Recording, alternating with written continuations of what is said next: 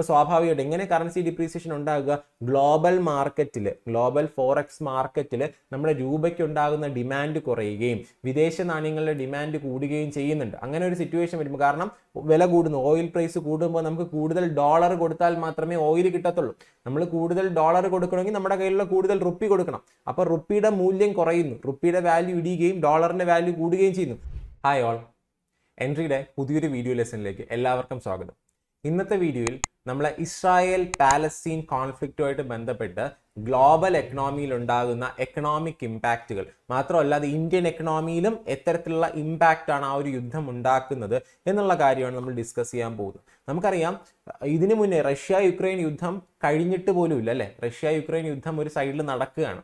അതിനൊപ്പം തന്നെ ഇപ്പോൾ ഒക്ടോബറിൽ ആരംഭിച്ച മറ്റൊരു കോൺഫ്ലിക്റ്റ് ആണ് ഇസ്രായേൽ പാലസ്തീൻ കോൺഫ്ലിക്റ്റ് എന്ന് പറയുന്നത് അല്ലെ? ഇസ്രായേൽ പാലസ്തീൻ കോൺഫ്ലിക്റ്റ് എന്നും പാലസ്തീൻ വാർ എന്നും പറയുന്ന ആൾക്കാരുണ്ട്.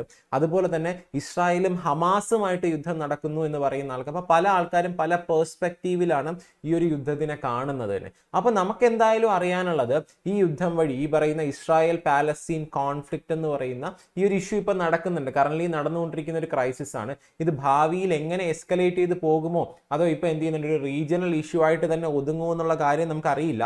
ഇത് ഭാവിയിൽ എസ്കലേറ്റ് ചെയ്ത് പോയി കഴിഞ്ഞാൽ ഇത് സീരിയസ് ആയിട്ടുള്ള സീരിയസ് ആയിട്ടുള്ള ഇമ്പാക്റ്റ് ഗ്ലോബൽ എക്കണോമിയിലും നമ്മുടെ ഇന്ത്യൻ എക്കണോമിയിലും മാത്രമല്ല അവിടെയുള്ള അറബ് രാജ്യങ്ങളിലും മിഡിൽ ഈസ്റ്റിലെ അറബ് കൺട്രീസിലും ഉണ്ടാക്കുക എന്നുള്ളതിൽ യാതൊരു സംശയമില്ല അപ്പൊ അതുകൊണ്ട് തന്നെ നമുക്കിവിടെ ഡിസ്കസ് ചെയ്യാനുള്ളത് പ്രധാനമായിട്ട് ഒരു എക്കണോമിക് പേഴ്സ്പെക്റ്റീവിൽ ഒരു എക്കണോമിക്സിന്റെ പേഴ്സ്പെക്റ്റീവിൽ നമുക്ക് നോക്കിക്കഴിഞ്ഞാൽ എന്തെല്ലാം സാമ്പത്തികമായിട്ടുള്ള ആഘാതങ്ങൾ നമുക്കറിയാം ഒരുപാട് സാമൂഹ്യമായിട്ടുള്ള ആഘാതങ്ങൾ ഈ ഒരു യുദ്ധം ഉണ്ടാക്കുന്നുണ്ട്. അത് ഇസ്രായേൽ പാലസ്തീൻ കോൺഫ്ലിക്റ്റുകളുടെ ചരിത്രം നോക്കിക്കഴിഞ്ഞാൽ തന്നെ നമുക്ക് കാണാൻ പറ്റും. കാരണം ഒരുപാട് എന്താ സാമൂഹ്യമായിട്ടുള്ള ആഘാതങ്ങൾ ഇമ്പാക്ട് സോഷ്യൽ ഇമ്പാക്ട് ഇത് ഉണ്ടാക്കിയിട്ടുണ്ട്. കാരണം ഒരുപാട് ആൾക്കാർ അവരുടെ ഭൂമിയിൽ നിന്ന് മാറ്റാനും അതുപോലെ തന്നെ ഒരുപാട് ആൾക്കാരുടെ ജീവൻ നഷ്ടപ്പെടാനും തൊഴിലില്ലായ്മ രൂക്ഷമാകുന്നുണ്ട് ദാരിദ്ര്യം കുടിവെള്ളമില്ല ഭക്ഷണമില്ലാത്ത സിറ്റുവേഷനിലൊക്കെ ഈ യുദ്ധം എത്തിച്ചിട്ടുണ്ട്. ഈ യുദ്ധം മാത്രമല്ല പൊതുവേ യുദ്ധങ്ങൾ അങ്ങനെയാണെന്നുള്ള കാര്യം അറിയാം. നമുക്ക് റഷ്യ യുക്രൈൻ വാർ നോക്കിക്കഴിഞ്ഞാൽ നമുക്ക് കാണാൻ പറ്റും. പക്ഷെ ഇവിടെ നമ്മൾ നോക്കുന്നത് സോഷ്യൽ ഇമ്പാക്റ്റിനപ്പുറം എക്കണോമിക് ഇമ്പാക്ട് എന്തൊക്കെ എക്കണോമിക് ഇമ്പാക്റ്റ് ഇത് ഉണ്ടാക്കിയിട്ടുണ്ട്? ഇനി എന്തൊക്കെ ഇമ്പാക്റ്റുകൾ ഉണ്ടാക്കാൻ സാധ്യതയുണ്ട് എന്നുള്ള കാര്യമാണ് നമ്മൾ പ്രധാനമായിട്ടും ഈ വീഡിയോയിലൂടെ ഡിസ്കസ് ചെയ്യുന്നത് നമ്മൾ പ്രധാനമായിട്ടും എക്കണോമിക് പേഴ്സ്പെക്റ്റീവ് നിന്ന് മാത്രമാണ് ഈ ഒരു വിഷയം നമ്മളിവിടെ ചർച്ച ചെയ്യുന്നത്. അപ്പോൾ എക്കണോമിക് പേഴ്സ്പെക്റ്റീവ് നിന്ന് ഈ ഒരു വിഷയം ചർച്ച ചെയ്യുമ്പോൾ പോലും നമുക്ക് ഏതൊരു വിഷയം ചർച്ച ചെയ്യുമ്പോഴും അതിന്റെ ഒരു ബാക്ക്ഗ്രൗണ്ട് നമ്മൾ അറിഞ്ഞിരിക്കണം അല്ലേ? അതിന്റെ ഒരു ഹിസ്റ്റോറിക്കൽ ബാക്ക്ഗ്രൗണ്ട് നമ്മൾ അറിഞ്ഞിരിക്കേണ്ടത് ആവശ്യമാണ്. അതുകൊണ്ട് നമുക്ക് ബേസിക് ആയിട്ടും എന്താണ് ഈ ഒരു ഇഷ്യൂ ഇഷ്യൂ ഇപ്പോഴത്തെ ഇഷ്യൂവിന് കാരണം അതിന്റെ ഒരു ഹിസ്റ്റോറിക്കൽ ബാക്ക്ഗ്രൗണ്ട് അത് നടക്കുന്ന ആ ഏരിയനൊക്കെ പറ്റി നമുക്ക് ആദ്യം ഒന്ന് ചർച്ച ചെയ്തിട്ട് വരാം. അപ്പം നിങ്ങൾക്ക് പ്രധാനപ്പെട്ട കാരണം ഈ ഒരു ഇഷ്യൂ ഇന്റർനാഷണൽ ഇഷ്യൂ ഇപ്പോൾ ലൈവായിട്ട് നിൽക്കുന്ന ഇഷ്യൂ ഇത് എന്ത് ചെയ്യാനുണ്ട്? വരുന്ന എക്സാമിന് കാരണം ഇതുമായിട്ട് ബന്ധപ്പെട്ട് എവിടെയായി ഈ പ്രദേശത്ത് ഈ പ്രശ്നം നടക്കുന്ന പ്രദേശം? നമുക്കറിയാം ഇസ്രായേലും പാലസ്തീൻ ഉൾപ്പെടുന്ന ഈ ഒരു പ്രദേശം എന്ന് പറയുന്നത് എവിടെയാണ്? നമുക്കറിയാം മിഡിൽ ഈസ്റ്റിൽ ഉൾപ്പെടുന്ന ഈ പ്രദേശം. അതിനെ നൈബർ ചെയ്യുന്ന കൺട്രീസ് ഏതൊക്കെയാണ്? അതിന് ചുറ്റുമുള്ള രാജ്യങ്ങൾ. അപ്പോൾ അതിർത്തികൾ അറിയണം. ഈ പറയുന്ന ഇസ്രായേലിന് ചുറ്റുമുള്ള അതിർത്തികൾ. അതുപോലെ തന്നെ നമുക്കിവിടെ നോക്കിക്കഴിഞ്ഞാൽ കാണാൻ പറ്റും Mediterranean sea red sea dead sea തുടങ്ങിയ കാര്യങ്ങളെല്ലാം തന്നെ അവിടെ സ്ഥിതി ചെയ്യുന്നുണ്ട്. അപ്പോൾ ഈ മെഡിറ്ററേനിയൻ സീനെ ചുറ്റി നിൽക്കുന്ന നൈബറിങ് കൺട്രീസ് ഏതാണ്? റെഡ് സീന് നൈബർ ചെയ്യുന്ന കൺട്രീസ് ഏതാണെന്നൊക്കെ നമുക്ക് വേണമെങ്കിൽ ക്വസ്റ്റ്യൻ വരാം. കാരണം എന്തുകൊണ്ടാണ്? ഈ ഒരു ഇഷ്യൂ ലൈവായിട്ട് നിൽക്കുന്ന ഒരു സാഹചര്യത്തിൽ റഷ്യ യുക്രൈൻ യുദ്ധ മീൻസ് യുദ്ധം നടക്കുന്ന സമയത്ത് അതിന് ചുറ്റുമുള്ള നൈബറിങ് കൺട്രീസ് നമ്മൾ നോക്കി. അതുപോലെ തന്നെ മാപ്പിങ്ങിന് പ്രധാനമാണ് നിങ്ങൾ എന്ത് ചെയ്യുക? ഈ ഒരു ഇസ്രായേൽ എന്ന് പറയുന്ന രാജ്യം ഇസ്രായേൽ എന്ന് പറയുന്ന ഇസ്രായേലും പാലസ്തീനും ഉൾപ്പെടുന്ന ഈ രാജ്യം. കണ്ടല്ലോ ഈ ഒരു പ്രദേശമാണ് ഇസ്രായേൽ പാലസ്തീൻ ഉൾപ്പെടുന്ന ഇപ്പോഴത്തെ ടെൻഷൻ നടക്കുന്ന ആ ടെൻഷൻസ് നടക്കുന്ന മേഖല എന്ന് പറയുന്ന ഈ പറയുന്ന ഈ ലൈറ്റ് യെല്ലോ അല്ലെങ്കിൽ ഒരു ലൈറ്റ് ഓറഞ്ച് കളറിലും ഡാർക്കിലും കൊടുത്തിരിക്കുന്ന ഈ ഒരു പ്രദേശം നിങ്ങൾക്ക് കാണാൻ പറ്റുന്നില്ല ഡാർക്കിൽ കൊടുത്തിരിക്കുന്നതെന്ന് പറയുന്നത് പാലസ്തീൻ ടെറിട്ടറീസും ലൈറ്റ് കളറിൽ കൊടുത്തിരിക്കുന്ന ഇസ്രായേലിന്റെ ഭാഗമാണ് എന്നുള്ള കാര്യം അറിഞ്ഞിരിക്കാം. ഇവിടെ നോക്കിക്കഴിഞ്ഞാൽ ഇസ്രായേൽ പാലസ്തീൻ എന്ന് പറയുന്ന ഈ പ്രദേശത്തിന് അതിർത്തി കൊടുക്കുന്നത് മെഡിറ്ററേനിയൻ സീ അതിന്റെ വെസ്റ്റ് സൈഡിൽ മെഡിറ്ററേനിയൻ സീ എന്ന് കാണാൻ പറ്റുന്നുണ്ട്. ദെൻ ഈജിപ്റ്റുമാണ് ഇസ്രായേലിന്റെ വെസ്റ്റിൽ നമുക്ക് മെഡിറ്ററേനിയൻ സീനും ഈജിപ്റ്റിനെയും കാണാൻ പറ്റുന്നുണ്ട്. അതിന് നോർത്തിൽ നോക്കിക്കഴിഞ്ഞാൽ ലെബനൻ എന്ന് പറയുന്ന അറബ് രാജ്യമാണ്. ദെൻ അത് കഴിഞ്ഞിട്ട് അതിന്റെ ഈസ്റ്റ് ഭാഗത്തോട്ട് വന്നു കഴിഞ്ഞാൽ സിറിയ ജോർഡൻ എന്ന് പറയുന്ന ഈ രാജ്യങ്ങൾ കാണാൻ പറ്റുന്നുണ്ട്. ദെൻ അതിന്റെ താഴെ വരെ നമുക്ക് റെഡ് സീയുടെ ഒരു കണക്ഷൻ ആണ് നമുക്ക് കാണാൻ പറ്റുന്നുണ്ട്. അപ്പോൾ ഇത്തരത്തിലുള്ള കാര്യങ്ങൾ നമുക്ക് നോക്കിക്കഴിയുമ്പോൾ ഇതാണ് ഇപ്പോൾ ഈ പറയുന്ന കോൺഫ്ലിക്റ്റ് നടക്കുന്ന പ്രദേശം ഇസ്രായേൽ എന്ന് പറയുന്ന ഈ പ്രദേശവും അതുപോലെ തന്നെ ഈ ഡാർക്കിൽ കൊടുത്തിരിക്കുന്ന പാലസ്തീനും. ഇവിടെ നിങ്ങൾക്ക് ശ്രദ്ധിച്ചു കഴിഞ്ഞാൽ മനസ്സിലാകും പാലസ്തീൻ എന്ന് പറയുന്ന പ്രധാനമായിട്ടും രണ്ട് ഭൂഭാഗങ്ങൾ ചേർന്നതാണ് അല്ലെ? ഒന്ന് ഗാസ സ്ട്രിപ്പും മറ്റൊന്ന് വെസ്റ്റ് ബാങ്ക്. അപ്പൊ പാലസ്തീൻ എന്ന് പറയുന്നത് ഈ ഗാസ സ്ട്രിപ്പും വെസ്റ്റ് ബാങ്കും കൂടെ ചേർന്നതാണ് പാലസ്തീൻ. അതിൽ ഈ പറയുന്ന വെസ്റ്റ് ബാങ്ക് നിങ്ങൾക്ക് ശ്രദ്ധിച്ചാൽ മനസ്സിലാകും ഈസ്റ്റ് സൈഡ് ഓഫ് ഇസ്രായേൽ ഇസ്രായേലിന്റെ ഈസ്റ്റ് സൈഡാണ് എന്നിട്ടും അതിന് വെസ്റ്റ് ബാങ്ക് എന്നാണ് പേര്. കാരണം അതെന്തുകൊണ്ടാണ് ജോർഡൻ റിവറിന്റെയും അതുപോലെ തന്നെ ഡെഡ് സീയുടെയും വെസ്റ്റ് ബാങ്കിൽ വെസ്റ്റ് കരയിൽ വരുന്നത് കൊണ്ടാണ് അതിനെ വെസ്റ്റ് ബാങ്ക് എന്ന് വിളിക്കുന്നത്. അല്ലാതെ ഇസ്രായേലിന്റെ വെസ്റ്റ് സൈഡിൽ വരുന്നു നല്ല അർത്ഥം. ഓക്കെ അപ്പൊ ഈ വെസ്റ്റ് ബാങ്ക് എന്ന് പറയുന്ന പ്രദേശം ഇതെന്താണ്? ഒരു പാലസ്തീനിയൻ ടെറിട്ടറി അതുപോലെ തന്നെ ഗാസ സ്ട്രിപ്പ് എന്താണ്? ഒരു പാലസ്തീനിയൻ ടെറിട്ടറിയാണ് അപ്പൊ പ്രധാനമായിട്ട് ഇപ്പൊ നിങ്ങൾ നോക്കിക്കഴിഞ്ഞാൽ കാണാൻ പറ്റും വെസ്റ്റ് ബാങ്കിനെക്കാളും കൂടുതൽ നമ്മൾ ഗാസ സ്ട്രിപ്പാണ് വാർത്തകളിൽ കാണുന്നത് അല്ലെ? ഗാസ സ്ട്രിപ്പാണ് ഇപ്പോഴത്തെ ഒരു കോൺഫ്ലിക്റ്റിൽ പ്രധാന ശ്രദ്ധാ കേന്ദ്രം എന്ന് പറയുന്ന ഗാസ സ്ട്രിപ്പിൽ നിന്ന് പുറത്തോട്ടും ഗാസ സ്ട്രിപ്പിലോട്ടുമാണ് കൂടുതൽ അറ്റാക്കുകൾ നടക്കുന്നത് നമുക്ക് കാണാൻ പറ്റുന്നുണ്ട്. അപ്പൊ നിങ്ങൾ ശ്രദ്ധിച്ചാൽ മനസ്സിലാകും ഇതാണ് ആ ഒരു യുദ്ധം നടക്കുന്ന ആ ഒരു ടെൻഷൻ നടക്കുന്ന പ്രദേശം. അത് ആദ്യം നമ്മൾ മനസ്സിലാക്കിയിരിക്കുക. അപ്പം മാപ്പിങ്ങിന് നിങ്ങൾ എന്താണ് ഈ പ്രദേശത്തിന് ചുറ്റോട് ചുറ്റും നിൽക്കുന്ന രാജ്യങ്ങൾ അതുപോലെ തന്നെ കടലുകൾ അത്തരത്തിലുള്ള കാര്യങ്ങൾ മനസ്സിലാക്കിയിരിക്കുക. കാരണം എന്ത് ചെയ്യാം? നമുക്ക് ചോദിക്കാൻ വളരെ സാധ്യതയുണ്ട്. ടെൻഷൻ നടക്കുന്ന ലൈവായിട്ട് നിൽക്കുന്ന ഒരു ഏരിയ ആയതുകൊണ്ട് അതൊന്ന് മനസ്സിലാക്കിയിരിക്കുക.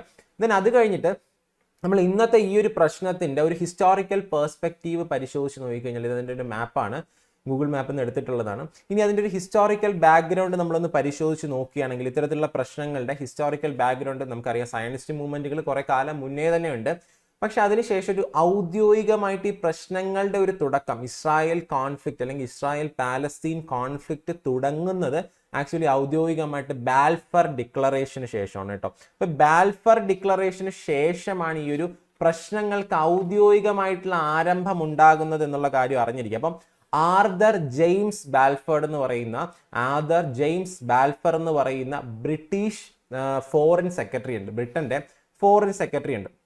ഈ ഫോറിൻ സെക്രട്ടറി എന്ത് ചെയ്യുന്നുണ്ട്? ലോർഡ് റോഷൈൽഡ് എന്ന് പറയുന്ന ലോർഡ് റോഷൈൽഡ് എന്ന് പറയുന്ന ഒരു ആംഗ്ലോ ജൂയിഷ് ലീഡർ ഉണ്ട്. അതായത് ഒരു സയനിസ്റ്റ് മൂവ്മെന്റിന് മുന്നിൽ നയിക്കുന്ന ആംഗ്ലോ ജൂയിഷ് ലീഡറിന് എഴുതുന്ന ഒരു ലെറ്റർ ആണ് ആക്ച്വലി എന്തെന്ന് പറയുന്നത്? ഈ പറയുന്ന ബാൽഫർ ഡിക്ലറേഷൻ എന്ന് പറയുന്നത്. Actually it's a letter written by Arthur James Balfour. ആർക്കാ എഴുതുന്നത്? ഒരു ജൂയിഷ് ലീഡറിന് എഴുതുന്നത്. അപ്പൊ അതിനകത്ത് പറയുന്നുണ്ട് എന്താണ്? ഇപ്പൊ നിലവിലെ പാലസ്തീൻ എന്ന് പറയുന്ന ഒരു പ്രദേശത്ത് ജൂസിന് വേണ്ടിയുള്ള ഒരു ഹോം ഹോംലാൻഡ് സെറ്റപ്പ് ചെയ്യുന്നതിന് ബ്രിട്ടന്റെ ഭാഗത്തു നിന്ന് സപ്പോർട്ട് ഉണ്ടാകുമെന്ന് പറഞ്ഞിട്ടുള്ളതാണ് ഈ ബാൽഫർ ഡിക്ലറേഷൻ എന്ന് പറയുന്നത്. മനസ്സിലായില്ല? അപ്പോൾ ഇപ്പൊ നിലവിലുള്ള പാലസ്തീൻ പ്രദേശം. ആ പാലസ്തീൻ പ്രദേശം നിങ്ങൾ ശ്രദ്ധിച്ചു കഴിഞ്ഞാൽ ഈ ഒരു പാലസ്തീൻ എന്ന് പറയുന്ന ഈ പ്രദേശം ഇതൊരു ഫോർമർ ഓട്ടോമൻ ടെറിട്ടറി ആയിരുന്നു. നമുക്ക് ഒട്ടോമൻ എംപയർ അറിയാമല്ലോ ഒട്ടോമൻ എംപയറിന്റെ ഒരു ഭാഗമായിരുന്നു ഈ ഒരു ടെറിട്ടറി എന്ന് പറയുന്നത്. മനസ്സിലായില്ല? അവിടെ ഒരു ജൂയിഷ് സ്റ്റേറ്റ് എസ്റ്റാബ്ലിഷ് ചെയ്യാൻ വേണ്ടി ബ്രിട്ടന്റെ സപ്പോർട്ട് കൊടുക്കുന്നു എന്ന് പറഞ്ഞിട്ടാണ് ഈ ഒരു ബാൽഫർ ഡിക്ലറേഷൻ വരുന്നത് ആക്ച്വലി അപ്പൊ ഈ പറയുന്ന ബാൽഫ്രഡ് ഡിക്ലറേഷൻ വന്നു. അത് കഴിഞ്ഞ് ഫസ്റ്റ് വേൾഡ് വാർ കഴിഞ്ഞതിന് ശേഷം നയന്റീൻ ട്വന്റി ടു ഒക്കെ ആകുന്ന സമയത്ത് ഒരു nineteen twenty two nineteen twenty three പീരീഡിലൊക്കെ എന്ത് ചെയ്യുന്നുണ്ട്? അന്നത്തെ ലീഗ് ഓഫ് നേഷൻസ് ഉണ്ടല്ലോ. ലീഗ് ഓഫ് നേഷൻസ് ഈ ഒരു പാലസ്തീൻ പ്രദേശത്തെ ഈ ഒരു പാലസ്തീൻ പ്രദേശത്തെ യു കെയുടെ കൺട്രോളിൽ കൊണ്ടുവരുന്നുണ്ട്. മനസ്സിലായല്ലോ? യു കെയുടെ കീഴിൽ കൊണ്ടുവരുന്നു. അതിനുശേഷം യുണൈറ്റഡ് കിങ്ഡം നമ്മുടെ ബ്രിട്ടനാണ് എന്ത് ചെയ്യുന്നത്? ഇതിന്റെ അഡ്മിനിസ്ട്രേഷൻ കംപ്ലീറ്റ് ആയിട്ട് ഈ ഒരു പാലസ്തീൻ ഏരിയയുടെ അഡ്മിനിസ്ട്രേഷൻ നിർവഹിക്കുന്നത്. ദെൻ നയന്റീൻ ഫോർട്ടി സെവൻ പീരീഡിൽ യു കെ എന്ത് ചെയ്യുന്നുണ്ട് ഈ പ്രദേശം അതായത് ബ്രിട്ടൻ ഈ പ്രദേശം വിട്ടു പോകുന്ന സമയത്ത് ഈ ഒരു പ്രദേശത്തിന്റെ ഫെയ്റ്റ് അവർ എന്ത് ചെയ്യുന്നുണ്ട് തീരുമാനിക്കാൻ വേണ്ടി യുണൈറ്റഡ് നേഷൻസിനെ ഏൽപ്പിക്കുന്നുണ്ട്. മനസ്സിലായല്ലോ? യുണൈറ്റഡ് നേഷൻസിനെ ഏൽപ്പിക്കുകയും യുണൈറ്റഡ് നേഷൻസ് പുതിയൊരു യു എൻ പാർട്ടീഷൻ പ്ലാൻ ആയിട്ട് മുന്നിൽ വരികയും ചെയ്യുന്നുണ്ട്. U N partition plan partition plan എന്ന് ഉദ്ദേശിക്കുന്നത് എന്താണ്? ഓൾറെഡി ബാൽഫർ ഡിക്ലറേഷനകത്ത് പറഞ്ഞു. എന്താണ്? ഈ ഒരു പാലസ്തീൻ ഹോംലാൻഡ് അല്ലെങ്കിൽ പാലസ്തീൻ എന്ന് പറയുന്ന ഭൂമിയിൽ ജൂസിനൊരു ഹോംലാൻഡ് സെറ്റപ്പ് ചെയ്യുന്നതിന് യു കെയുടെ ഭാഗത്തു നിന്നുള്ള ഒരു സപ്പോർട്ട് ഉണ്ടാകും എന്നുള്ളതാണ് ബാൽഫർ ഡിക്ലറേഷൻ നയന്റീൻ ഫോർട്ടി സെവനിൽ ബ്രിട്ടൻ എന്നിട്ട് എന്ത് ചെയ്യുന്നുണ്ട്? യുണൈറ്റഡ് നേഷൻസിന് ഇതിന്റെ വിധി തീരുമാനിക്കാനുള്ള എന്താ ഒരു ഒരു പവർ കൈമാറുന്നുണ്ട്. അങ്ങനെ യു എൻ പാർട്ടീഷൻ പ്ലാൻ വരുന്നു. യു എൻ പാർട്ടീഷൻ പ്ലാനിന്റെ ഭാഗമായിട്ട് എന്ത് ചെയ്യുന്നുണ്ട്? ഇവിടെ യുണൈറ്റഡ് നേഷൻസ് വോട്ടിട്ടിട്ട് ജൂസിന് സെപ്പറേറ്റ് സ്റ്റേറ്റും അതുപോലെ തന്നെ അറബ്സ് രണ്ട് സെപ്പറേറ്റ് ഭൂമിയായിട്ട് ഇതിനെ ഡിവൈഡ് ചെയ്യാൻ വേണ്ടി ഒരു അംഗീകാരം അല്ലെങ്കിൽ ഒരു തീരുമാനത്തിൽ എത്തുകയും ചെയ്യുന്നു. അതാണ് യു എൻ പാർട്ടീഷൻ പ്ലാൻ അങ്ങനെയാണ് ആക്ച്വലി നയന്റീൻ ഫോർട്ടി സെവനിൽ ഈ ഒരു യു എൻ പാർട്ടീഷൻ പ്ലാന്റെ ഭാഗമായിട്ടാണ് ഇസ്രായേൽ ഇസ്രായേൽ എന്ന് പറയുന്ന ഒരു രാജ്യം തന്നെ നയന്റീൻ ഫോർട്ടി എയ്റ്റിൽ ഇസ്രായേൽ എന്ന് പറയുന്ന സെപ്പറേറ്റ് കൺട്രി ഫോം ചെയ്യാൻ നമുക്ക് പറയാൻ പറ്റുന്നുണ്ട്. അങ്ങനെ നയന്റീൻ ഫോർട്ടി എയ്റ്റിലാണ് ഒഫീഷ്യലി ഇസ്രായേൽ ഫോം ചെയ്യുന്നത്. ഇസ്രായേൽ ഫോം ചെയ്തതിന് ശേഷം ഒരു കണ്ടിന്യൂസ് ആയിട്ട് എന്ത് ചെയ്യുന്നുണ്ട്? കുറെ കാലം ഇസ്രായേലും അകത്തുള്ള പാലസ്തീനിലെ അറബ് ജനതകളും തമ്മിൽ എന്ത് ചെയ്യുന്നുണ്ട്? സീരിയസ് ആയിട്ടുള്ള ഇഷ്യൂസ് ഉണ്ടാകുന്നുണ്ട്. മനസ്സിലായല്ലോ? അങ്ങനെ നയന്റീൻ എയ്റ്റി സെവനിൽ ഫസ്റ്റ് അപ്രൈസിങ് ഉണ്ടാകുന്നുണ്ട്. ഫസ്റ്റ് ഫസ്റ്റ് അപ്രൈസിംഗ് എന്ന് പറഞ്ഞാൽ പ്രധാനമായിട്ട് നിങ്ങൾ ശ്രദ്ധ കേന്ദ്രീകരിക്കാനുള്ളതെന്ന് വെച്ച് കഴിഞ്ഞാൽ ഈ ഗാസ സ്ട്രിപ്പിലോട്ടാണ് കേട്ടോ. ഈ ഗാസ സ്ട്രിപ്പാണ് എന്നും ശ്രദ്ധാ കേന്ദ്രം എന്ന് പറയുന്നത്. കാരണം ഈ ഗാസ സ്ട്രിപ്പിന്റെ പ്രത്യേകത ഈ ഗാസ സ്ട്രിപ്പിനെ നമുക്ക് ഒന്നും കൂടെ ഒന്ന് സൂം ചെയ്ത് നോക്കിക്കഴിഞ്ഞാൽ ഇവിടെ കാണാൻ പറ്റുന്നുണ്ട്. ഈ ഗാസ സ്ട്രിപ്പ് എന്ന് പറയുന്ന ഈ ഒരു മേഖല കണ്ടല്ലോ. ഇത് കൃത്യമായിട്ടും ഇസ്രായേൽ ഒറ്റപ്പെടുത്തി നിർത്തിയിരിക്കുന്ന ഒരു പ്രദേശമാണ് നമുക്ക് കാണാൻ പറ്റുന്നുണ്ട്. ഗാസ സ്ട്രിപ്പ് ബ്ലോക്കേഡ് എന്ന് ഇവിടെ പറഞ്ഞിരിക്കുന്നത്. കണ്ടല്ലോ double fences concrete wall steel wall. അപ്പൊ ഈ നോക്കിക്കഴിഞ്ഞാൽ ഇവിടെ എന്ന് വെച്ചാൽ ഈജിപ്തിന്റെ സ്റ്റീൽ വാൾ ഉണ്ട് ഈജിപ്തിലോട്ട് പോകാതിരിക്കാൻ വേണ്ടിയിട്ടുള്ള കുടിയേറ്റം നടക്കാതിരിക്കാൻ വേണ്ടി. ഇവിടെ എന്ന് പറഞ്ഞു കഴിഞ്ഞാൽ കോൺക്രീറ്റ് വാൾ ഉണ്ട് മനസ്സിലായല്ലോ? അതുപോലെ തന്നെ അത്തരത്തിലുള്ള സംവിധാനങ്ങൾ കൊണ്ട് ഇസ്രായേലിൽ നിന്ന് ഇസ്രായേലിന്റെ മെയിൻ ലാൻഡിൽ നിന്ന് വേർതിരിച്ചിരിക്കുന്ന ഒരു പ്രദേശമാണ് ഗാസ എന്ന് പറയുന്നത്. അതൊരു ഐസൊലേറ്റഡ് പ്രദേശമാണ്. അവിടെ സാമ്പത്തികമായിട്ടും സാമൂഹ്യമായിട്ടും വളരെ കഷ്ടത. അതായത് ഒരുപാട് ജനങ്ങളെ ചൂഷണം ചെയ്യപ്പെടുന്നുണ്ട് ഇസ്രായേൽ. കാരണം എന്ന് വെച്ചാൽ ചീപ്പ് ലേബറേഴ്സ് കുറഞ്ഞ വേതനത്തിന് പണിയെടുക്കുന്ന ആൾക്കാർ. അപ്പോൾ അവർക്ക് സ്വാഭാവികമായിട്ട് unemployment financial issues social issues ഒക്കെ കാരണം അവർ ഐസൊലേറ്റ് ചെയ്യപ്പെടുന്ന ജനസമൂഹത്തിന്റെ ഇടയിൽ നിന്ന് എന്ത് ചെയ്യുന്നുണ്ട്? ഒരു ഒരു എന്താണ്? ഈ ഇസ്രായേലിനെതിരായിട്ടുള്ള അതിക്രമങ്ങൾ അതിന് നോക്കിക്കഴിഞ്ഞാൽ ഒരുപാട് ചെറിയ ചെറിയ ഇൻസിഡന്റുകൾ രണ്ട് ഭാഗത്തു നിന്ന് ഉണ്ടാകുന്നുണ്ട്. പിന്നീടാണ് സീരിയസ് ആയിട്ടുള്ള ഒരു ഇൻസിഡന്റ് ഉണ്ടാകുന്നത്. ഇസ്രായേൽ നോക്കിക്കഴിഞ്ഞാൽ കാണാൻ പറ്റും ഈ ഗാസ എന്ന് പറയുന്ന ചെറിയൊരു പ്രദേശമാണ്. ഈ ഗാസയിലാണ് പ്രധാനമായിട്ടും ഹമാസ് എന്ന് പറയുന്ന ഒരു ഗ്രൂപ്പിന്റെ ഉയർച്ച. ആക്ച്വലി അത് എന്താണ്? അൽ ഇസ്ലാമിയ എന്ന് പറയുന്ന ഒരു സോഷ്യൽ ചാരിറ്റി മൂവ്മെന്റ് ആണ് പിന്നീട് ഹമാസ് എന്ന് പറയുന്ന ഒരു സെപ്പറേറ്റിസ്റ്റ് അല്ലെങ്കിൽ ഒരു എക്സ്ട്രീമിസ്റ്റ് ഒരു ഗ്രൂപ്പായിട്ട് എന്ത് ചെയ്യുന്നത്? മാറുന്നത് എന്നുള്ള കാര്യം മനസ്സിലായി. ഒരു മിലിറ്റന്റ് ഗ്രൂപ്പാണ് ഹമാസ് എന്ന് പറയുന്നത് ഈ ഹമാസിന്റെ നേതൃത്വത്തിലാണ് first uprising nineteen eighty seven first uprising എന്ന് പറയുന്ന ഇസ്രായേലിനെതിരെയുള്ള വലിയ രീതിയിലുള്ള ജനപ്രതിഷേധം ഗാസയിൽ നിന്നാണ് പ്രധാനമായിട്ട് ഉണ്ടാകുന്നത്. സോറി ഗാസ സ്ട്രിപ്പിൽ നിന്നാണ് പ്രധാനമായിട്ട് ഉണ്ടാകുന്നത്. പിന്നീട് പക്ഷേ എന്ത് ചെയ്യുന്നുണ്ട്? ഈ ഫസ്റ്റ് അപ്രൈസിംഗ് പതുക്കെ നയന്റീൻ നയന്റി ത്രീ ഒക്കെ ആകുന്ന സമയത്ത് ഒന്ന് അണയുന്നു കാരണം ഓസ്ലോ അക്കോർഡ്സ് ഉണ്ടാകുന്നുണ്ട്. ഓസ്ലോ അക്കോർഡ്സ് അറിയാലോ ഒരു പീസ് അക്കോർഡാണ് ഒരു പീസ് ഉടമ്പടിയാണ് ഇസ്രായേലും പാലസ്തീനും തമ്മിലുള്ള അന്നെന്ന് വെച്ചാൽ നമ്മുടെ പാലസ്തീൻ ലിബറേഷൻ ഓർഗനൈസേഷൻ യാസർ അറാഫത്തിന്റെ ഒക്കെ നേതൃത്വത്തിൽ അറിയാലോ ഓസ്ലോ അക്കോഡ് ഓസ്ലോ അക്കോഡ് വന്ന സമയത്ത് ഈ Palestine Liberation Organization P L O എന്ത് ചെയ്യുന്നുണ്ട്? ഈ പറയുന്ന പി എൽ ഒയും ഇസ്രായേലും രണ്ട് സ്റ്റേറ്റുകളുടെയും എന്ത് ചെയ്യുന്നുണ്ട്? മീൻസ് അത് തുടരാനുള്ള അതായത് രണ്ട് സംസ്ഥാന രണ്ട് സോറി രണ്ട് സംസ്ഥാനങ്ങളല്ല. എന്ത് ചെയ്യുന്നുണ്ട്? രണ്ട് രാജ്യങ്ങളെയും അംഗീകരിക്കപ്പെടുന്നുണ്ട് അതായത് പാലസ്തീൻ ടെറിട്ടറിനെയും ഇസ്രായേലിനെയും പാലസ്തീൻ ടെറിട്ടറിനെ ഇസ്രായേൽ അംഗീകരിക്കുകയും ഇസ്രായേലിനെ പി എൽ ഒ അംഗീകരിക്കുകയും ചെയ്യുന്നുണ്ട്. രണ്ടുപേരും പരസ്പരം റെക്കഗ്നൈസ് ചെയ്യുന്നുണ്ട് എന്നുള്ള കാര്യം അറിഞ്ഞിരിക്കുക. അതിനുശേഷം കുറച്ചു കാലം ഈ ഓസ്ലോ അക്കോർഡുകൾക്ക് ശേഷം കുറച്ചു കാലം എന്ത് ചെയ്യുന്നുണ്ട്? കുറച്ച് സമാധാനമൊക്കെ മുന്നോട്ട് പോകുന്നെങ്കിൽ പോലും ഈ ഒരു പ്രദേശം വെസ്റ്റ് ബാങ്ക് എന്ന് പറയുന്ന പൊതുവെ എത്രത്തോളം വലിയ ഇഷ്യൂസിന് ഇടപെടുന്ന ഒരു പ്രദേശമായിരുന്നില്ല. പക്ഷെ ഗാസ സ്ട്രിപ്പിൽ പിന്നീട് ഹമാസിന്റെ അധികാരം വരുന്നു. അങ്ങനെ ആ സെക്കൻഡ് അപ്രൈസിങ് ഉണ്ടാകുന്നത്. ടൂ തൗസൻഡ് സിക്സിൽ നോക്കിക്കഴിഞ്ഞാൽ നമുക്കൊരു സെക്കൻഡ് അപ്രൈസിങ് കാണാൻ പറ്റും. കാരണം ടൂ തൗസൻഡ് സിക്സിൽ ഈ സെക്കൻഡ് അപ്രൈസിങ്ങിന് ശേഷം ടൂ തൗസൻഡ് സെവനിൽ ഈ ഗാസയിലെ അധികാരം ഗാസ സ്ട്രിപ്പിന്റെ അധികാരം ഹമാസ് പിടിച്ചെടുക്കുന്ന ഒരു സിറ്റുവേഷൻ ഹമാസ് അപ്പം തന്നെ ഒരു മിലിറ്റൻ ഗ്രൂപ്പിൽ നിന്ന് ഒരു പൊളിറ്റിക്കൽ പാർട്ടിയിലോട്ട് വളർന്നു കഴിഞ്ഞു. അപ്പൊ എന്ത് ചെയ്യുന്നുണ്ട്? ഈ സെക്കൻഡ് കാരണം ഈ പറയുന്ന ഗാസ സ്ട്രിപ്പും വെസ്റ്റ് ബാങ്കും തമ്മിൽ വലിയ വ്യത്യാസമുണ്ട്. ഗാസ സ്ട്രിപ്പ് എന്ന് പറഞ്ഞാൽ ഇടുങ്ങിയ ഒരു പ്രദേശമാണ്. ഐസൊലേറ്റ് ചെയ്യപ്പെട്ട ഒരു പ്രദേശമാണ്. അവിടുത്തെ ജനങ്ങളെന്ന് പറയുന്നത് വെസ്റ്റ് ബാങ്കിന്റെ അത്രയും സ്വാതന്ത്ര്യം അനുഭവിക്കുന്നില്ല. മാത്രമല്ല ചീപ്പ് ലേബർ അതായത് വളരെ കുറഞ്ഞ നിരക്കിൽ ജോലി ചെയ്യുന്ന ആൾക്കാർ അതിനകത്തുണ്ട്. അപ്പോൾ അതിനകത്ത് നിന്ന് പുറത്തോട്ട് കിടക്കുക. അങ്ങോട്ടുള്ള അതിനകത്തോട്ടുള്ളതും അതിന് പുറത്തോട്ടുള്ളതുമായിട്ടുള്ള കംപ്ലീറ്റ് അതായത് ഫുഡിന്റെ ആയിക്കോട്ടെ അതുപോലെ തന്നെ ആരോഗ്യ സംവിധാനങ്ങളായിക്കോട്ടെ മറ്റ് വാഹന ഗതാഗതങ്ങളുടെ എല്ലാ മൂവ്മെന്റും കൃത്യമായിട്ട് ഇസ്രായേൽ റെഗുലേറ്റ് ചെയ്യുന്ന ഒരു സിറ്റുവേഷനാണ്. അപ്പൊ സ്വാഭാവികമായിട്ടും അവിടെ നിന്നാണ് ഇത്തരത്തിലുള്ള ഒരു അപ്രൈസിംഗ് ഉണ്ടാകുക സെക്കൻഡ് അപ്രൈസിംഗ് അപ്പോൾ ഹമാസ് ടൂ തൗസൻഡ് സിക്സ് ഒരു സെക്കൻഡ് അപ്രൈസിംഗ് ഉണ്ടാകുന്നു. ടൂ തൗസൻഡ് സെവനിൽ ഗാസ സ്ട്രിപ്പ് ഹമാസിന്റെ കീഴിൽ വരുന്നുണ്ട്. അപ്പൊ ആ ഒരു ഇഷ്യൂ ആണ് പ്രധാനമായിട്ടും പിന്നീട് അങ്ങോട്ടുള്ള ഈ പറയുന്ന ഇസ്രായേൽ പാലസ്തീൻ കോൺഫ്ലിക്റ്റുകളിലോട്ട് ഒരു ശക്തി പകരുന്നതായിട്ട് നമുക്ക് കാണാൻ പറ്റുന്നുണ്ട്.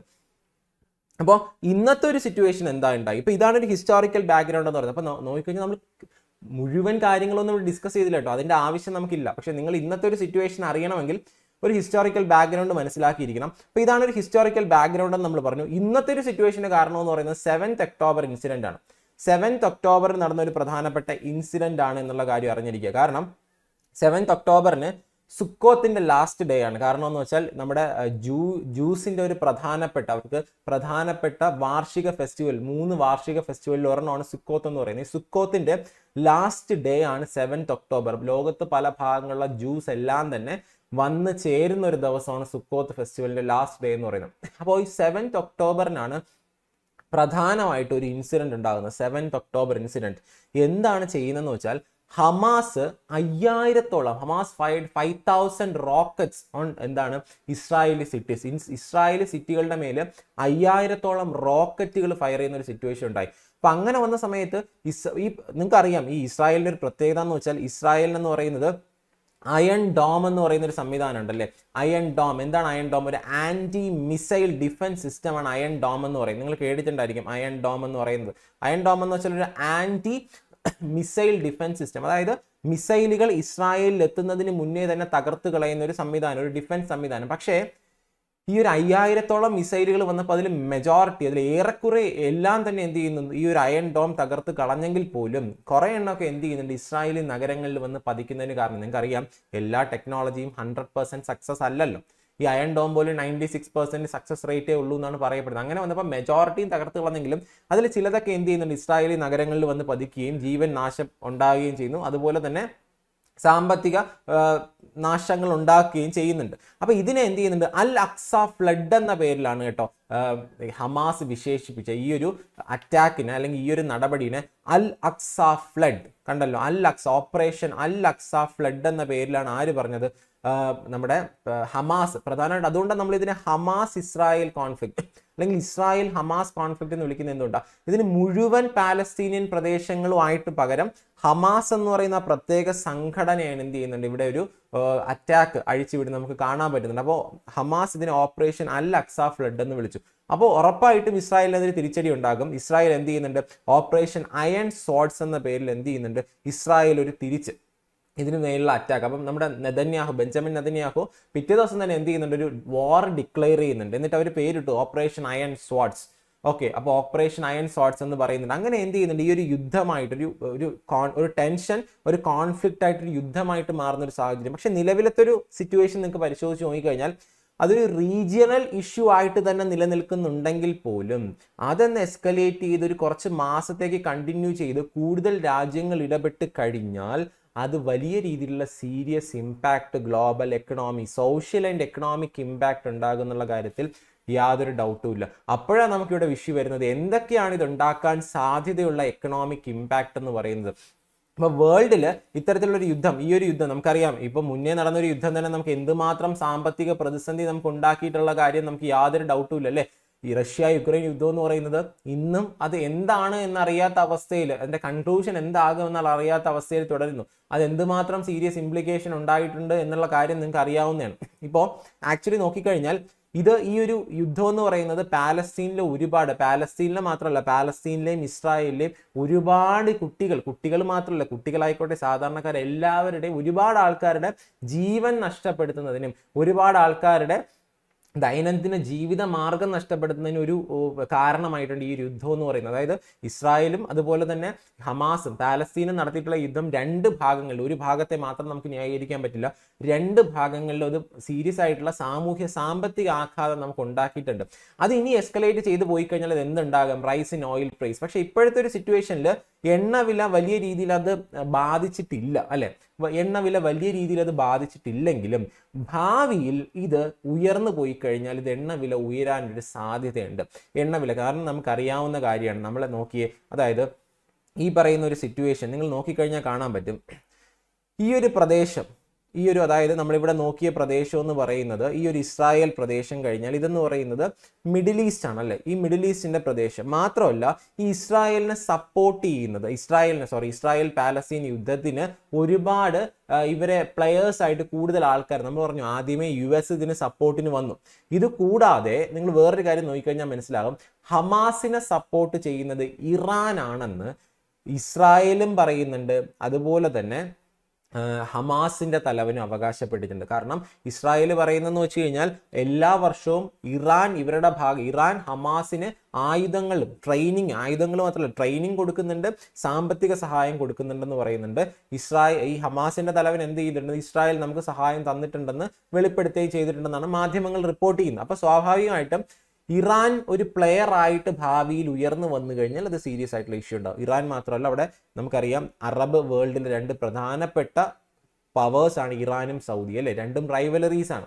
അത് എന്തുകൊണ്ടാണെന്ന് ചോദിച്ചാൽ റിലീജിയസ് ആയിട്ടുള്ള കാര്യങ്ങളാണ്. മറ്റു പല കാരണങ്ങൾ കൊണ്ട് റൈവലറീസ് ആയിട്ട് മാറുന്നവരാണ്.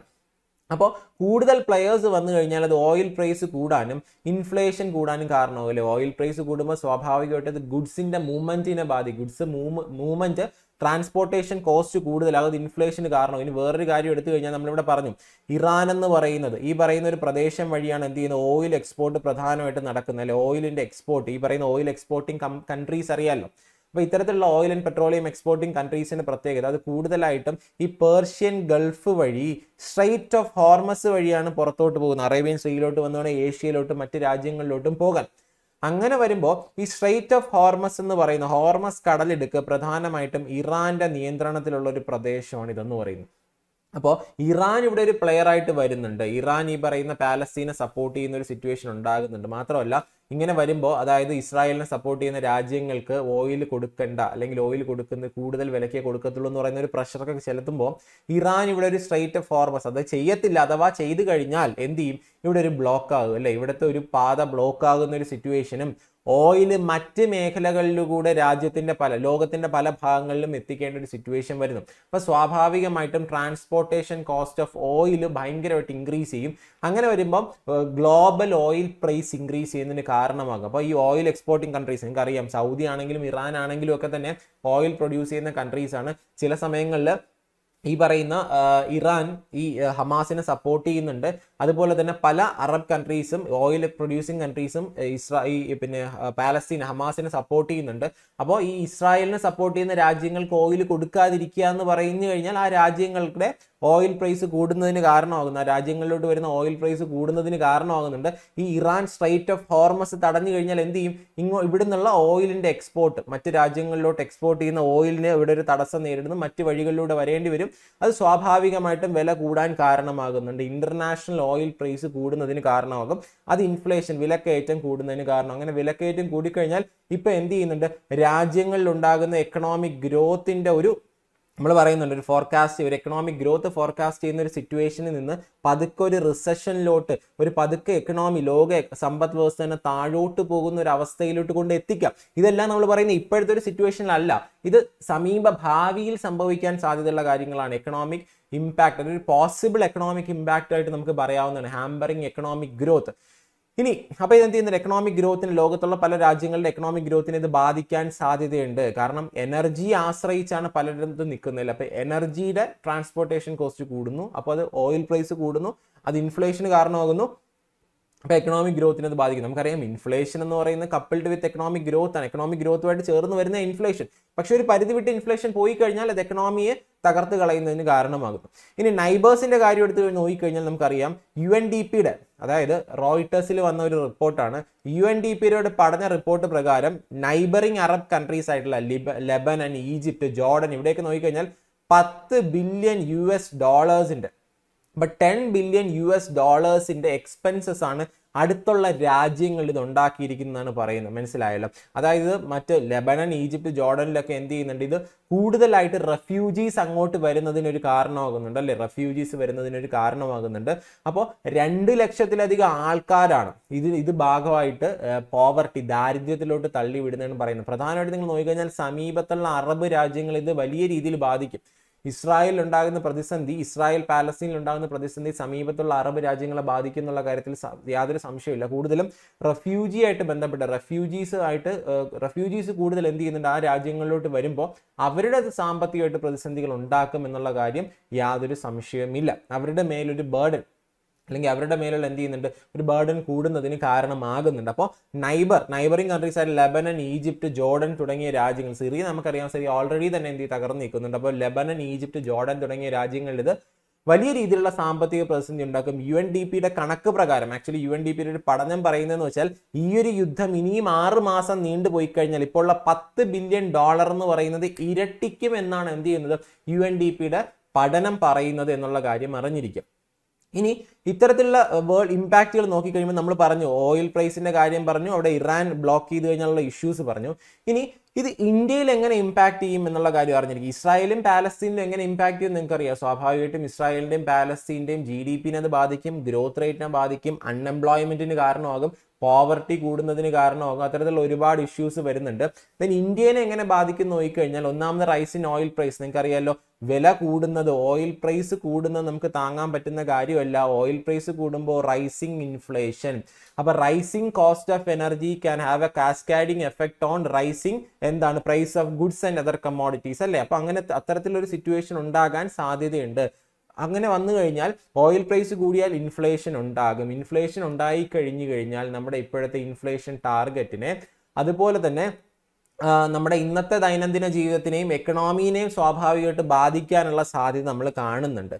അതുപോലെ തന്നെ കറൻസി ഡിപ്രീസിയേഷൻ നിങ്ങൾക്ക് എല്ലാവർക്കും അറിയാവുന്ന കാര്യമാണ് കറൻസി ഡിപ്രീസിയേഷൻ എന്ന് പറഞ്ഞാൽ ഫോൾ ഇൻ എന്താണ്? Value of our domestic currency when compared to foreign currency അല്ലേ? നമ്മുടെ ഫോറിൻ എന്താ യു എസ് ഡോളേഴ്സുമായിട്ട് ഡോളേഴ്സ് അതുപോലുള്ള മറ്റ് ഫോറിൻ കറൻസി ആയിട്ട് കമ്പയർ ചെയ്യുമ്പോൾ നമ്മുടെ രൂപയിൽ ഉണ്ടാകുന്ന ഇടിവ് നമ്മുടെ ഡൊമസ്റ്റിക് കറൻസി ആയിട്ടുള്ള രൂപയിൽ ഉണ്ടാകുന്ന ഇടിവ് അത്തരത്തിലൊരു ഇടിവ് സംഭവിക്കാൻ ഒരു സാധ്യതയുണ്ട്. കാരണം എന്ന് വെച്ച് കഴിഞ്ഞാൽ വില കൂടുന്നു അപ്പോൾ സ്വാഭാവികമായിട്ടും എന്താ സംഭവിക്കുക? കറൻസി ഡിപ്രീഷി ഡിപ്രീസിയേറ്റ് ചെയ്യുക. ഡിപ്രീസിയേറ്റ് ചെയ്യുന്ന എങ്ങനെയാണ്? കറൻസി ഡിപ്രീസിയേഷൻ സംഭവിക്കുക? ഇന്റർനാഷണൽ മാർക്കറ്റിൽ രൂപയുടെ ഡിമാൻഡ് കുറയുന്നു റുപ്പിയുടെ ഡിമാൻഡ് കുറയുകയും അതേസമയം ഫോറിൻ കറൻസീസിന്റെ ഡിമാൻഡ് കൂടുകയും ചെയ്യുന്നുണ്ട് അല്ലേ? നമുക്ക് റുപ്പി മാറ്റിയിട്ട് നമുക്ക് ഡോളേഴ്സ് ഒക്കെ വേണം. കാരണം നമ്മുടെ ഇമ്പോർട്ട് കോസ്റ്റ്ലിയർ ആയിട്ട് മാറും അല്ലെ? ഇമ്പോർട്ട് കൂടുതൽ ചിലവുള്ളതായിട്ട് മാറും. ഇൻഫ്ലേഷൻ കൂടുമ്പോൾ നമ്മൾ കൂടുതൽ ഇമ്പോർട്ട് കോസ്റ്റ്ലിയർ ആയിട്ട് മാറുന്ന സമയത്ത് കറൻസി ഡിപ്രീസിയേഷൻ ഉണ്ടാകുന്നു. അപ്പോൾ സ്വാഭാവികമായിട്ട് എങ്ങനെ കറൻസി ഡിപ്രീസിയേഷൻ ഉണ്ടാകുക? ഗ്ലോബൽ മാർക്കറ്റിൽ ഗ്ലോബൽ ഫോറക്സ് മാർക്കറ്റിൽ നമ്മുടെ രൂപയ്ക്ക് ഉണ്ടാകുന്ന ഡിമാൻഡ് കുറയുകയും വിദേശ നാണ്യങ്ങളുടെ ഡിമാൻഡ് കൂടുകയും ചെയ്യുന്നുണ്ട്. അങ്ങനെ ഒരു സിറ്റുവേഷൻ വരുമ്പോൾ കാരണം വില കൂടുന്നു. ഓയിൽ പ്രൈസ് കൂടുമ്പോൾ നമുക്ക് കൂടുതൽ ഡോളർ കൊടുത്താൽ മാത്രമേ ഓയിൽ കിട്ടത്തുള്ളൂ. നമ്മൾ കൂടുതൽ ഡോളർ കൊടുക്കണമെങ്കിൽ നമ്മുടെ കയ്യിലുള്ള കൂടുതൽ റുപ്പി കൊടുക്കണം. അപ്പോൾ റുപ്പിയുടെ മൂല്യം കുറയുന്നു. റുപ്പിയുടെ വാല്യൂ ഇടിയുകയും ഡോളറിന്റെ വാല്യൂ കൂടുകയും ചെയ്യുന്നു. അപ്പൊ കറൻസി ഡിപ്രീസിയേഷൻ ഉണ്ടാകുന്നു. കറൻസിയുടെ മൂല്യം ഇടിയുന്നതിന് കാരണമാകും നമ്മൾ കണ്ടില്ലേ രൂപ തേയ്മാനം സംഭവിക്കുന്ന വാർത്തകളിൽ അതായത് ഇന്ന് രൂപ ഒരു ഡോളർ എന്ന് പറയുന്ന എൺപത് രൂപയാണെങ്കിൽ നാളെ എൺപത്തൊന്ന് രൂപ മറ്റന്നാൾ എൺപത്തിരണ്ട് രൂപ രൂപയുടെ മൂല്യം ഇടിഞ്ഞുകൊണ്ടിരിക്കുന്നു. അതെന്ത് ചെയ്യുന്നുണ്ട് ഒരു കറണ്ട് അക്കൗണ്ട് ഡെഫിസിറ്റിലോട്ടും എന്ത് ചെയ്യുന്നുണ്ട് കറണ്ട് അക്കൗണ്ട് ഡെഫിസിറ്റ് വർദ്ധിപ്പിക്കാനും കാരണമാകുന്നുണ്ട്. ദെൻ ജിയോ പൊളിറ്റിക്കൽ കൺസേൺ നിങ്ങൾ അറിയാം അതൊരു കാര്യം എന്ന് വെച്ചാൽ ഇസ്രായേലും അറബ് നേഷനും തമ്മിലുള്ള ബാലൻസ് ഇന്ത്യ ഇന്ത്യ എന്ന് പറയുന്നത് അറബ് രാജ്യങ്ങളുമായിട്ടും ഇസ്രായേലുമായിട്ടും നല്ല ടേംസിലാണ് അല്ലേ? അതായത് ഇത്തരത്തിലുള്ള റിലേഷൻ ഈ ഒരു റിലേഷൻ ബാലൻസ് ചെയ്തുകൊണ്ട് പോവുക എന്ന് പറയുന്നത് ഇന്ത്യനെ സംബന്ധിച്ചിടത്തോളം അത്യാവശ്യം ഹെവി ടാസ്ക് തന്നെയാണ്. എങ്ങനെ ഡിപ്ലോമാറ്റിക് റിലേഷൻ മുന്നോട്ട് പോകും? ഇന്ത്യയ്ക്ക് മറ്റ് രാജ്യങ്ങളെക്കാളും ഇറാനുമായിട്ട് നല്ല ബന്ധമുണ്ട്. സൗദി അറേബ്യയായിട്ട് നല്ല ബന്ധമുണ്ട്. മാത്രമല്ല സൗദിയിൽ ഒരുപാട് സൗദി മിഡിൽ ഈസ്റ്റിലെ മറ്റ് രാജ്യങ്ങളിൽ ഇന്ത്യയിൽ നിന്ന് ഒരുപാട് ആൾക്കാർ വർക്ക് ചെയ്യുന്നുണ്ട്. അതുപോലെ ഇസ്രായേലായിട്ട് നല്ല ബന്ധമുണ്ട്. ഡിഫൻസുമായിട്ട് ബന്ധപ്പെട്ട് അഗ്രികൾച്ചറുമായിട്ട് ബന്ധപ്പെട്ട് ഇന്ത്യ ഇസ്രായേൽ എന്ന് പറയുന്ന ഭയങ്കര സുഹൃത്തുക്കളാണ് അല്ലേ?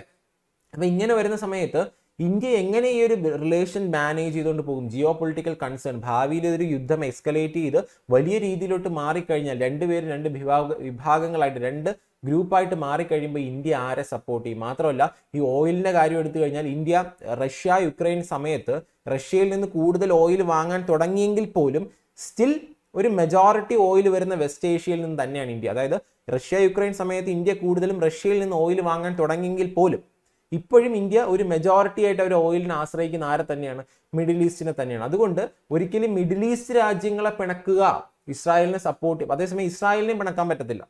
ഇസ്രായേൽ നമ്മുടെ ഒരു സ്ട്രാറ്റജിക് പാർട്ണർ ആണ് അല്ലേ? അപ്പൊ അങ്ങനെ വരുന്ന സമയത്ത് അതൊരു ഇഷ്യൂ ആയിട്ട് മാറുന്നുണ്ട്.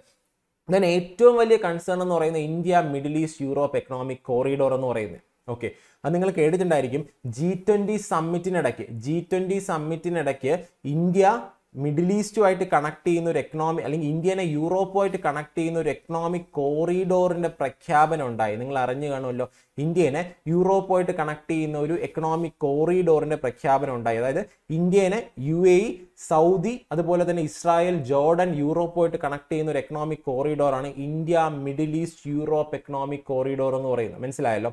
അപ്പോൾ ഈ ഒരു എക്കണോമിക് കോറിഡോർ എന്ന് പറയുന്ന ഒരു മൾട്ടി മോഡൽ കണക്ടിവിറ്റി പ്രോജക്റ്റ് ആണ് കേട്ടോ. നമ്മുടെ ജി ട്വന്റി ഉച്ചകോടിക്കിടയിൽ രാജ്യങ്ങൾ തമ്മിൽ ഈ പറയുന്ന ഈ ഇന്ത്യനെ യൂറോപ്പുമായിട്ട് കണക്ട് ചെയ്യുന്ന എക്കണോമിക് കോറിഡോറിനകത്ത് ഉൾപ്പെടുന്ന രാജ്യങ്ങൾ തമ്മിൽ ഒരു എം ഒ യു സൈൻ ചെയ്യുകയുണ്ടായി. ആക്ച്വലി എന്താണിത്? ഇന്ത്യയിൽ നിന്ന് യൂറോപ്പിലോട്ട് ഗുഡ്സിന്റെ ട്രാൻസ്പോർട്ടേഷൻ ഇന്നത്തെക്കാളും വളരെ വേഗത്തിൽ നടത്തുക എന്നുള്ള ലക്ഷ്യത്തോടു കൂടി കൊണ്ടുവരുന്ന ഒരു മൾട്ടി മോഡൽ കണക്ടിവിറ്റി പ്രോജക്റ്റ് ആണ്. മൾട്ടി മോഡൽ കണക്ടിവിറ്റി പ്രോജക്റ്റ് ആണ് India Middle East economic corridor എന്ന് പറയുന്നത്. അതായത് ഇന്ത്യനെ മിഡിൽ ഈസ്റ്റുമായിട്ട് കണക്ട് ചെയ്യുന്നു. മിഡിൽ ഈസ്റ്റിൽ നിന്ന് യൂറോപ്പുമായിട്ട് കണക്ട് ചെയ്യുന്ന ഒരു കോറിഡോർ മൾട്ടി മോഡൽ എന്ന് പറയാൻ കാരണം എന്താ? അവിടെ വാട്ടർ വേ റെയിൽവേ റോഡ്വേ തുടങ്ങിയ മൂന്ന് കാര്യങ്ങൾ അതിനകത്ത് വരുന്നുണ്ട്. റോഡ്വേ വാട്ടർവേ റെയിൽവേ ഇത്രയും കാര്യങ്ങൾ ഉൾപ്പെടുന്ന ഒരു മൾട്ടി മോഡൽ പല രീതിയിലുള്ള കണക്ടിവിറ്റിയാണ് ഇതിനകത്ത് വരുന്നത്. ഇതിന്റെ ഒരു പ്രത്യേകത എന്ന് വെച്ചാൽ രണ്ട് കോറിഡോറാണ് കേട്ടോ വരുന്നത്. ഒന്നെന്ന് വെച്ചാൽ ഈസ്റ്റ് കോറിഡോർ അതായത് ഇന്ത്യനെ അറേബ്യൻ ഗൾഫുമായിട്ട് കണക്ട് ചെയ്യുന്ന നോർത്ത് കോറിഡോർ അറേബ്യൻ ഗൾഫിനെ യൂറോപ്പുമായിട്ട് കണക്ട് ചെയ്യുന്ന. അപ്പോൾ നോക്കി ഈസ്റ്റേൺ കോറിഡോർ എന്ന് പറഞ്ഞാൽ ഈ പറയുന്നതാണ് ഈസ്റ്റേൺ കോറിഡോർ. ഈസ്റ്റേൺ കോറിഡോർ കണ്ടല്ലോ.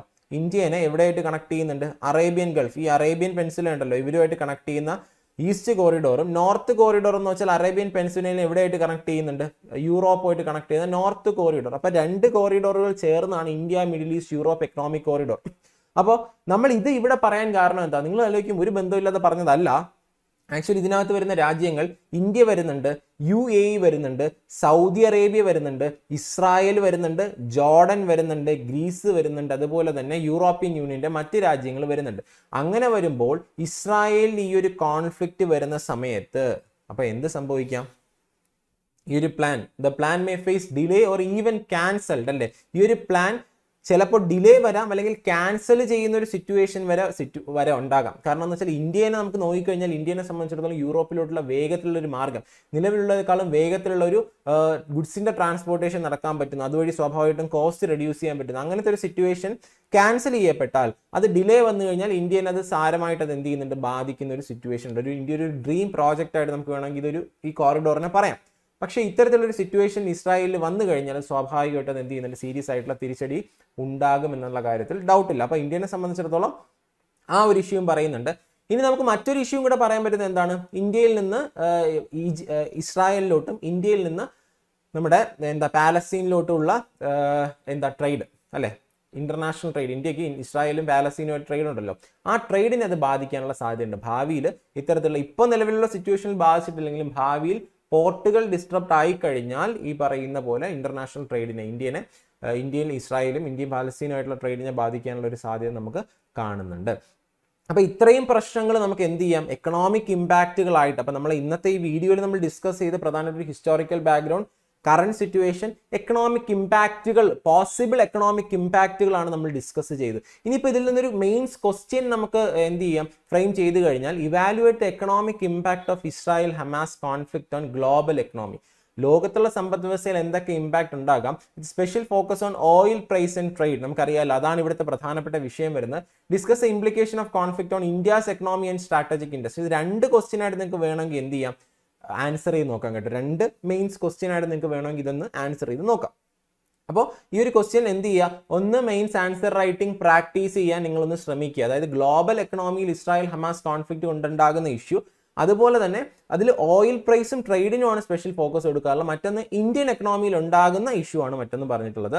ദെൻ നമുക്കൊരു എം സി ക്യു അതായത് ഒരു പ്രിലിംസിന്റെ എം സി ക്യു നോക്കിക്കഴിഞ്ഞാൽ പറയാൻ പറ്റും. Which of the following statements are true regarding impact of Israel Hamas conflict on Indian economy Indian എക്കണോമിയിൽ Israel Hamas കോൺഫ്ലിക്റ്റുമായിട്ട് ഉണ്ടാകാൻ സാധ്യതയുള്ള ഇമ്പാക്റ്റുകൾ എന്തൊക്കെയാണ്? ഒന്ന് India's oil import could become more expensive due to increased global oil price ഭാവിയിൽ യുദ്ധം escalate ചെയ്തു പോയി കഴിഞ്ഞാൽ ഇന്ത്യയിലെ ഓയിൽ ഇമ്പോർട്ട് ഇമ്പോർട്ട് കൂടുതൽ എക്സ്പെൻസീവ് ആവും. ശരിയല്ലേ? കാരണം വെച്ചാൽ ഗ്ലോബൽ ഓയിൽ പ്രൈസ് കൂടിക്കഴിഞ്ഞാൽ ഇന്ത്യക്കും കൂട്ടേണ്ടി വരും. ഒന്നാമത് ശരിയാണ്. രണ്ടാമത്തത് the conflict could affect India's bilateral trade with Israel and Palestine നമ്മൾ പറഞ്ഞു ലാസ്റ്റ് ഒരു പോയിന്റ് ആയിട്ട് പറഞ്ഞു. ഇന്ത്യനെ ഇസ്രായേലും പാലസ്തീനുമായിട്ടുള്ള ബൈലാറ്ററൽ ട്രേഡും ഒരു പോസിബിൾ ഇമ്പാക്റ്റ് ആണെന്ന് നമുക്ക് പറയാം.